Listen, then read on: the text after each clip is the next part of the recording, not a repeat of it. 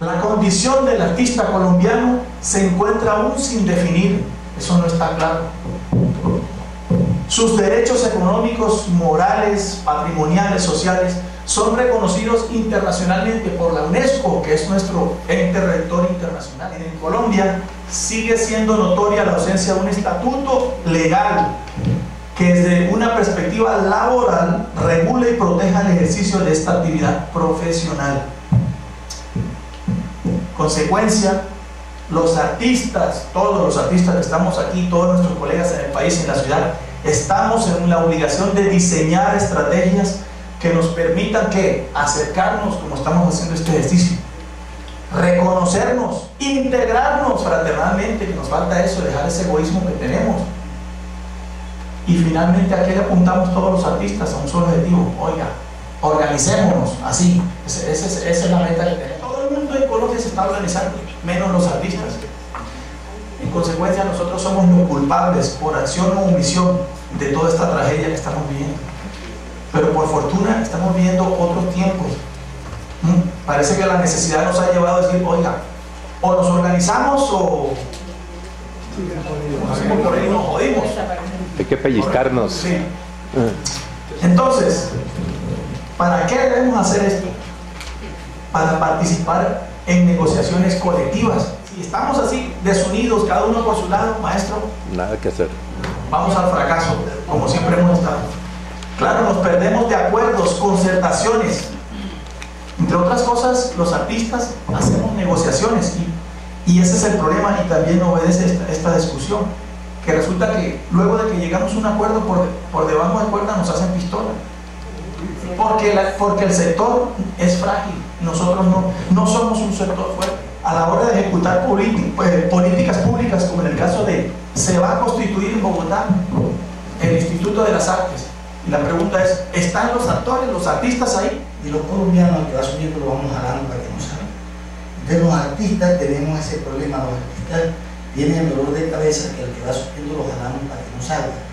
Y cuando hay alguien que quiere unirse y estamos en una sociedad, yo, yo, yo me puse a presidir a la Sociedad Autónoma Colombiana. Y mire, no hay nada peor cuando tú dices, es que va a haber el Instituto del Arte del, Distrito y allí debemos estar, es la lógica. El problema es que a los que Dios no, no les dio el talento de ser artistas, aprovechan el cuento del cangrejo colombiano. No eh, vamos a ponernos nunca de acuerdo porque los unos creemos que son más que otros y no permitimos que uno jale a los demás y los subamos. Entonces, creo que si vamos a luchar por esto, debemos tratar de concientizar a los artistas colombianos y me parece muy bien lo que estás diciendo, oye, somos artistas, todos somos igualitos, pero hagamos el ejemplo del, del cangrejo japonés. Muy bien, muy bien.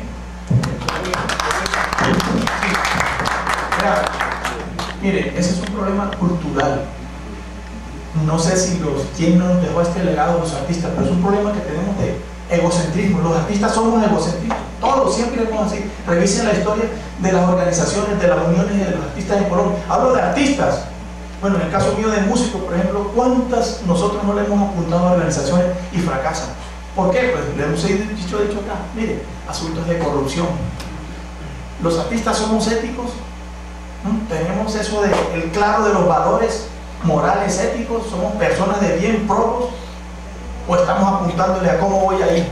Siempre les acabo de decir a los compañeros que nos estamos reuniendo en Colarco, y perdónenme este ejemplo, mire, una vez un presidente de Estados Unidos dijo, oiga, ¿qué puedo hacer yo por, por mi nación? No, los artistas saben qué debemos hacer. ¿Cómo voy yo ahí? No, ¿cómo meto yo ahí?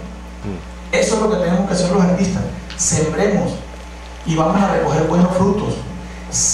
Nosotros le estamos apuntando desde Colarco a, organizar todo el sector de los artes en Colombia. Es un proyecto macro y de pronto, sí, ojalá que sea a mediano plazo. Corto, corto no creemos que en uno o en dos años vamos a ver. Pero si no lo vemos nosotros los frutos, que lo vean nuestros hijos o las próximas generaciones. Pero que las nuevas generaciones no vayan a decir, oye, tú no hiciste nada por el arte, tú fuiste un tocaste allá en la playa y te ganaste tu billete y no hiciste nada. La historia nos va a cobrar eso. Entonces, hagámoslo. Es el momento, ahora o nunca. Desde Colarco le estamos apuntando a eso. pero, pero, con, pero con esta salvedad. Tenemos que ser artistas honestos. Es ahí donde está el secreto de todo.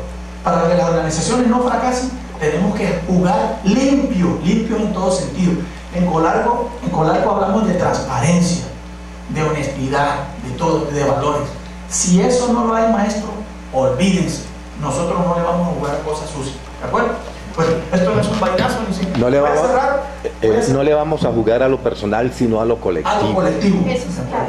Miren lo que dice, eh, esta es una, una definición ya nacional. Son profesionales del arte los artistas empíricos, fíjense, o académicos.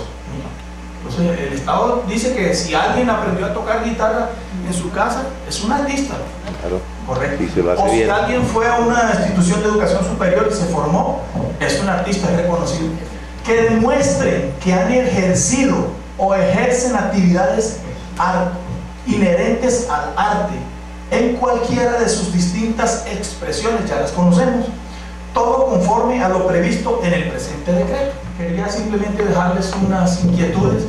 Este es un tema que algún día el sector debe hacer una discusión fuerte porque las decisiones que se toman desde el ministerio, incluso desde la secretaría, son concertaciones muy élites, pero el sector de los artistas, que yo sepa, nunca se ha dado la tarea de hacer una discusión de esto. Es un ejercicio que más adelante lo iremos a socializar cuando vamos a crear una página web para... ¿Saben por- qué obedeció este ejercicio? Porque hay un asunto muy clave. En Colombia, estamos, no, en Colombia no, en el mundo estamos viviendo como nunca en una revolución informática. Hay mucha información. Paradójicamente los artistas no conocemos nada de legislación ni de estos asuntos, porque siempre los artistas creen, ah, no, eso que lo hagan otros. Y lo- resulta que los demás están haciendo por nosotros. Compañeros, llegó la hora, claro, cada uno es artista y el maestro canta su joropo y eh, canta su tumbado y lo que sea. Pero llegó la hora de cambiar. Ya yo no voy a ser el mismo musiquito de, de toda la vida, no. Tenemos que conocer de asuntos de políticas culturales, tenemos que formarnos porque esto cambió. O tomamos nosotros las riendas o los demás van a hacer por nosotros. Bueno, mil gracias. Seguimos con nuestra actividad.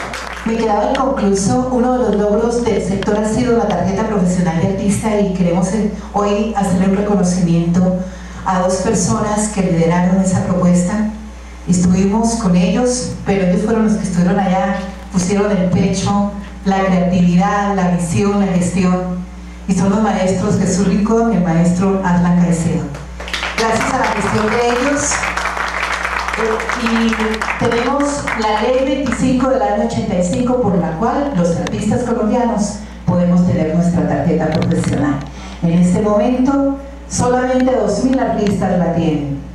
¿Qué hace que el Estado diga, claro, el país está lleno de talento, pero ¿dónde está? El reconocimiento no lo hace el Estado si estamos identificados ante ellos y esa tarjeta profesional hace que nos dé los elementos para podernos nosotros posicionar y revivir lo que en su momento se intentó con el Fondo de Seguridad Social del Artista Colombiano, eh, trabajar por un estatuto laboral de los artistas, dignificar al sector de los artistas y proponerlo y posicionarlo como lo merece.